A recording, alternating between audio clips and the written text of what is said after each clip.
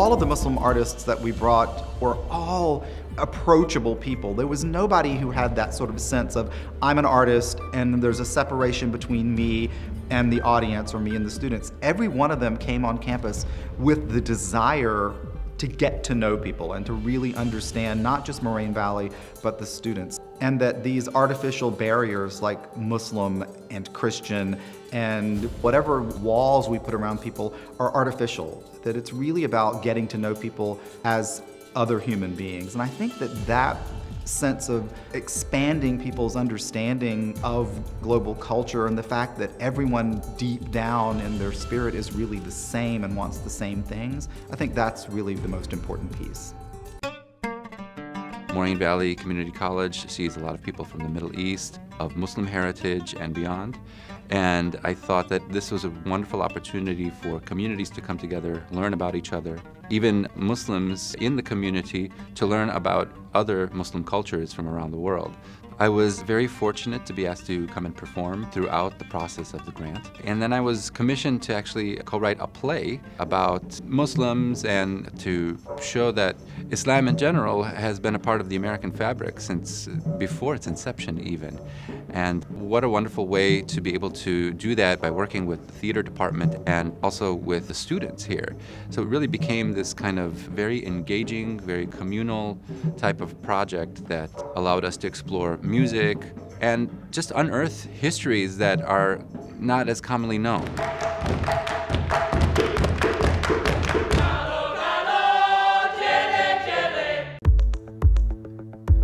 Hosted several events in the library, so panel discussions, visiting artists. The biggest thing for us was the inclusion of our One Book, One College program on the graphic novel Ms. Marvel. As part of that, the author of the book, G. Willow Wilson, came and was our featured speaker.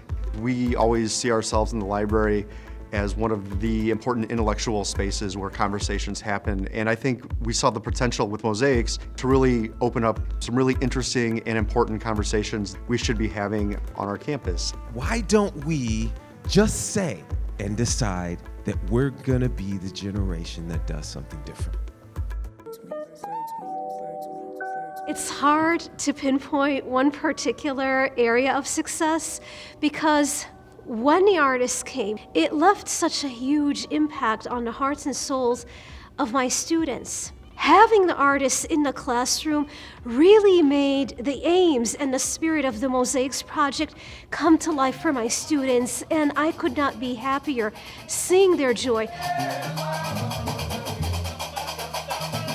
In this climate of ours, this cultural context where there are so many misunderstandings, here was this opportunity to extend a hand of friendship out to people and to tell people look, Muslims exist and they exist as human beings, and there's a whole dimension to them.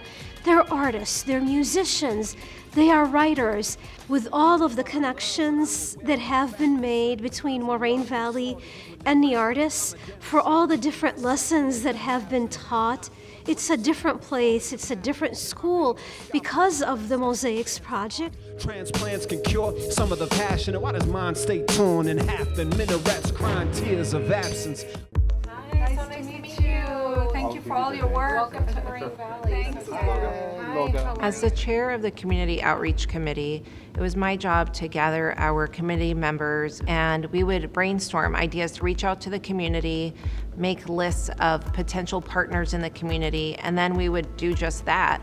We hosted an information night, we reached out to various libraries, to local mosques, to community organizations. It was our way of doing research on how we can best reach and how we can best represent the greater Muslim American community. This was something new, not only for our community, but also for our students and those that support the college. And I think that overall we did a phenomenal job raising awareness about Muslim American performers, and I think it was quite successful.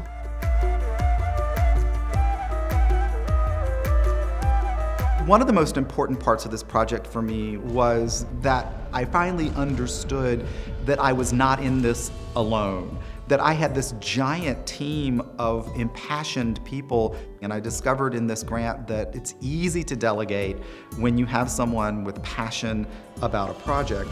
But one of the things that was most gratifying to me about this was the fact that everyone that became involved with this program, almost none of them walked away feeling like that they had done it because they had to do it. They did it because they wanted to, and they continued to work because they were passionate about it, and they were seeing the positive results.